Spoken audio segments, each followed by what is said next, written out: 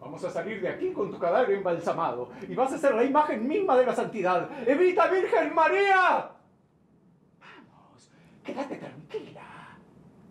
No arruines tu propio plan. No te das cuenta del estado en que estás.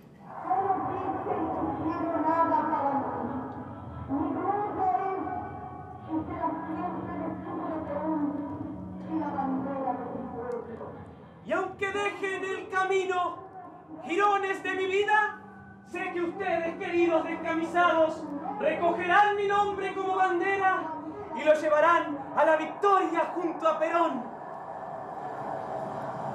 ¡Evita! Ay, Dios mío, qué horrible tengo las uñas. Enfermera, venga a hacerme las uñas. Invita al ministro de Agricultura y a su mujer. Invita a Fanny y a Juanita y a su hermano el senador.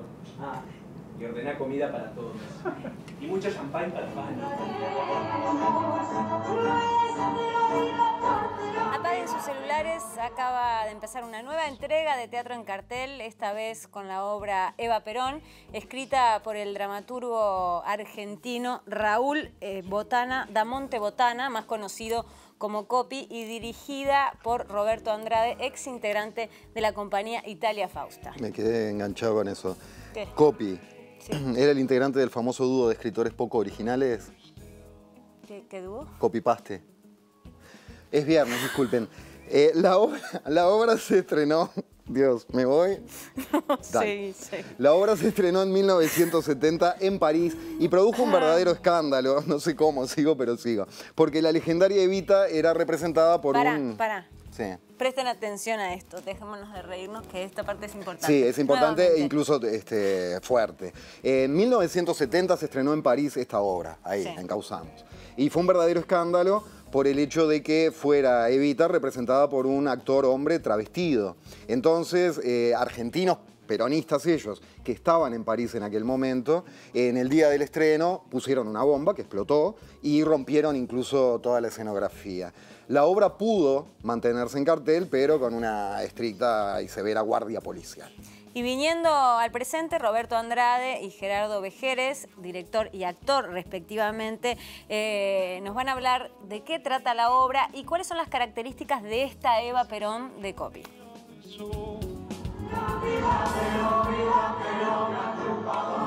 Voy a poner ahora. ¿Ahora? Sí. ¿Vos andás a despertar a los demás? Ay, no despiertes a Perón que tiene migraña. ¿Y qué? Yo tengo cáncer. Ah, y empezás otra vez con tu historia del cáncer, por sí, favor. tengo cáncer. Me voy a morir. Un cáncer no se cura con una aspirina, mamá. Yo me voy a morir y a vos te importa un carajo. Lo único que están esperando es que yo reviente para heredarme.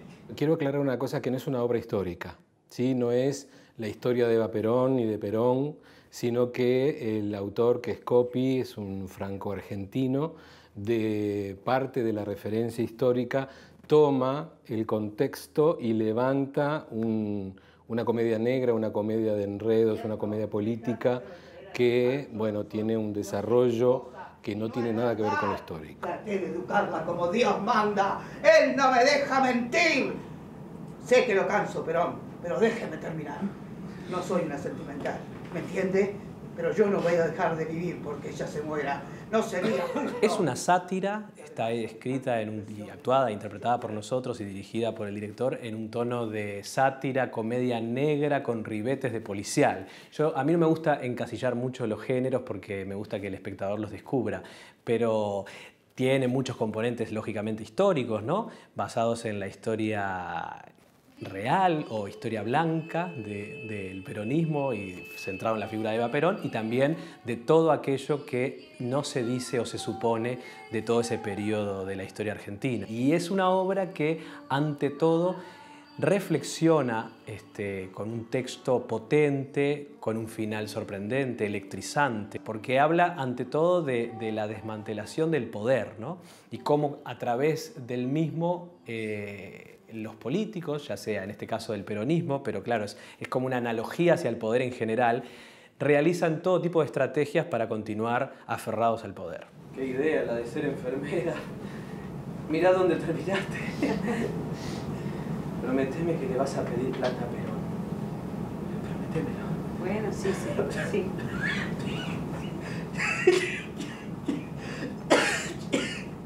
Es un texto bastante complejo en lo que es lo político. Entonces, eh, quizá hoy aún eh, tenga sus detractores.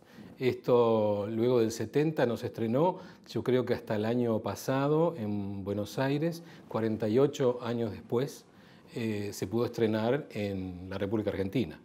Y hoy este año lo, lo estrenamos nosotros.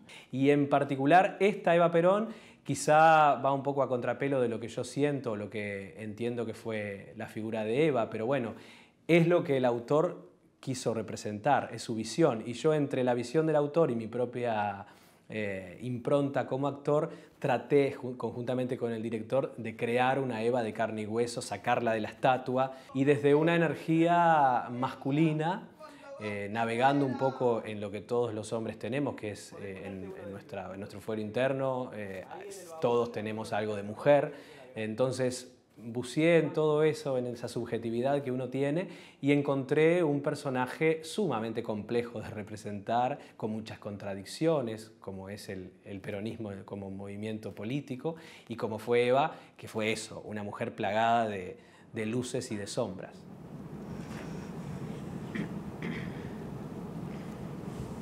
Copy este, murió muy joven, murió de SIDA. Toda su obra tiene una, originalidad muy explosiva, donde los personajes, no importa el género que tengan, por esto también Eva Perón, más allá de, lo histórico y de, tomar una Eva muy fálica, y por eso, de alguna forma, este, cuando uno hace Eva Perón, sabe que debe hacerlo con un actor hombre. ¿Sí? Y que este, de alguna forma ese actor no debe interpretar a la Eva consagrada, sino que tiene que hacer su propia interpretación. En un mes vas a estar allá en Monte Carlo, haciéndote dar por todos los gigolós franceses. Ahora venía a terminar de pintarme las uñas, mamá.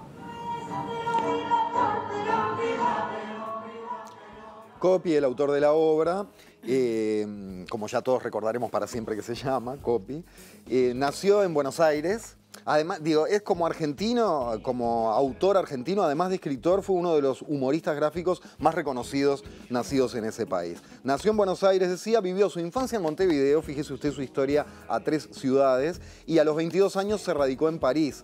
Y bueno, allí se desarrolló a punto tal que la mayoría de sus textos fueron publicados en francés y no en castellano. De hecho, esta versión de Eva Perón eh, la tradujo del francés Roberto Andrade, el director de la, de la obra. Copia además fue un gran luchador por los derechos de los homosexuales y murió en el año 1987 a los 48 años de SIDA. A continuación, en el segundo y último fragmento de estas mezclas de charla con obra que armamos para Teatro en Cartel, director y actor nos hablan del significado, del peso, de, vamos, eh, qué es poner en escena hoy esta obra con esta visión tan particular de Evita Perón. Ay, ¿cómo está de su migraña, Perón? Más o menos. Ay, bueno. ¿Sabe lo que dijo? Dijo que no nos va a dar el número de la caja fuerte que tiene en Suiza. Que cuando ella se muera voy a tener que volver a hacer la calle. ¿No se, se da cuenta? ¡Qué increíble! ¿Usted cree que yo deba de hablar de Perón con ¿Qué, ¿Qué, caja fuerte en Suiza? De alguna forma, eh, copy hecho hoy, por lo menos es mi punto de vista, hay que tomarlo con pinzas y hay que reinterpretarlo. Por eso es lo que van a ver ustedes es una reinterpretación de Eva Perón, ¿sí? que creo que en el 70 era una obra un poquito más revulsiva, un poco más este, orientada a la locura y mi idea es, bueno, 48 años después del estreno, cómo, cómo traer la referencia histórica de Eva Perón a la referencia regional, a la referencia del poder, a la referencia de, de, la mentira, de la verdad que se está viviendo ahora en el mundo y que los líderes políticos están cayendo. Entonces, eso me, interesó más eh, y de alguna forma yo le, le, trato de tironear el estilo a copy y llevar a este público actual una comedia negra, una comedia política, una comedia que se pueda emparentar más a una serie televisiva. ¿Y qué? Que no podés dar un baile, si se dieran cuenta sería terrible. Cállate, mamá, yo sé lo que hago. Uno puede llegar a ver el espectáculo creyendo que viene a ver aquella Eva Perón eh, que, que, todos conocemos, que hemos leído en la historia argentina. ¿no? Esta Eva Perón es diferente. Eh, entonces genera, no genera rechazo, pero genera sorpresa desde el primer momento. Genera también eh, comicidad en la platea, yo hago eh, pequeños guiños, con, me, trato de, traer los espectadores, ponérmelos a favor, entonces es muy gracioso, digo, las, locuras que hace esta mujer en estos últimos días de vida, y ya no importa tanto si esto es real, es posible, ella hizo esto o no lo hizo, pero es tan al extremo el humor que genera carcajadas en la platea. ¿Vos vivís sola? No, no, no. Vivo con mi papá, él es muy viejito. Mejor. Hay que vivir sola, ¿sabes? Esta obra hoy yo creo que es importante hacerla, porque hay muchas cosas que pasan en nuestra región, a nivel político, a nivel social, y es una reflexión, es un llamado a la reflexión porque la gente hoy vive, eh, pasa por la vida muy desinteresado, es como si no importara lo que está pasando en los gobiernos, no importara lo que sucede eh, con las personas que están a cargo de, un país.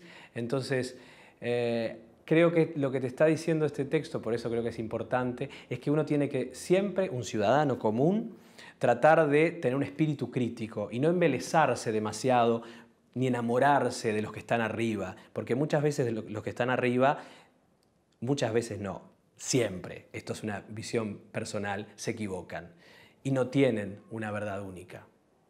Yo creo que eso es lo que para mí es importante que se, se diga en esta obra. Evita, evita, evita,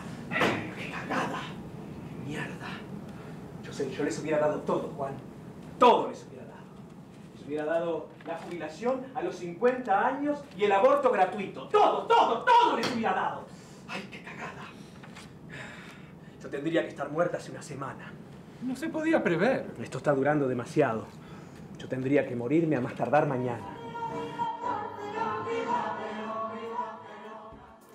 El elenco de Eva Perón se completa con Susana Castro, Sergio Pereira, Claudia Trecu y Marcos Valls. Habría que ver si son todos del interior y le conforman a Comensoro, hablando de cómo forma el cuadro. Bueno, Eva Perón de Copi va en el Teatro del Centro, que como ustedes saben queda ahí en el rinconcito de Plaza Cagancha. Los sábados 21 horas, horario absolutamente central. Y atenti que los domingos es tempranete, a las 18.30. Sábados y domingos en Teatro del Centro.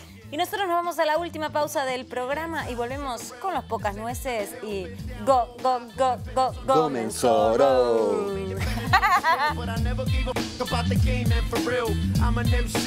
6 through Chevy over driving M3s. Don't play guitar, just SP, 1200 and an MP, R A W, and that's just me. I'm sick in the head, man, I don't do pop.